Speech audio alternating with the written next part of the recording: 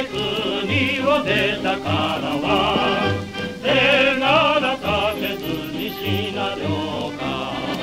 新聞ラッパ聞くたびにまぶたに浮かぶ方の波。土も草木も人燃える。風なき声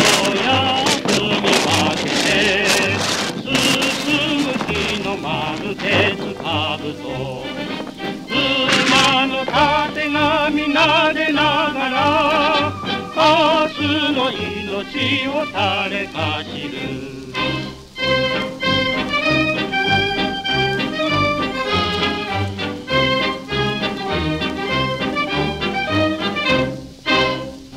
もタンクも受験もししの栄の草枕夢に出てきた父上に。死んで帰れと励まされ。冷めて睨むは敵の空。